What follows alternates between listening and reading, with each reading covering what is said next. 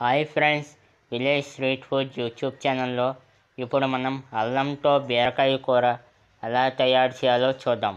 తయారీకి కావలసిన పదార్థాలు బీరకాయలు ఐదు ఉల్లిపాయలు రెండు శనగపప్పు మూడు స్పూన్లు మినపప్పు రెండు స్పూన్లు ఆవాలు ఒక స్పూన్ వెల్లుల్లిపాయ రేఖలు మూడు అల్లం చిన్న ముక్క కారం రెండు స్పూన్లు చింతపండు చిన్న ముద్ద నూనె పావు కప్పు ఉప్పు రెండు స్పూన్లు. ఇప్పుడు తయారీ విధానం ఎలాగో చూద్దాం. ముందుగా బీరకాయలు తొక్క తీసి ముక్కలుగా తరగాలి. ఉల్లిపాయను తొక్క తీసి ముక్కలుగా తరగాలి. చింతపండులో నీరు పోసి నానపెట్టాలి.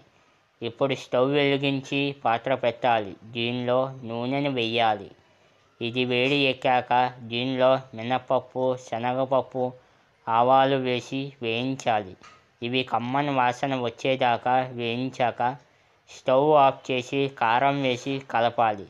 ఇప్పుడు వేయించిన పోపును మిక్సీలో వేసి ఆడాలి. అలాగే అల్లం వెల్లుల్లి రేఖలు ఉల్లిపాయ ముక్కలు ఉప్పు మిక్సీలో వేసి ఆడాలి. ఇప్పుడు స్టవ్ వెలిగించి పాత్ర పెట్టాలి. దీనిలో నూనెని వేయాలి. ఇది వేడి ఎక్కాక దీనిలో తరిగిన బీరకాయ ముక్కలను వేసి కలిపి ఉడికించాలి. బీరకాయలో నీరు ఉంటుంది. కనుక నీరు ప్రత్యేకంగా వేయనక్కర్లేదు. బీరకాయ ముక్కలు బాగా ఉడికాక దీనిలో ఇందాక మిక్సీలో ఆడిన పోపును వేసి కలపాలి.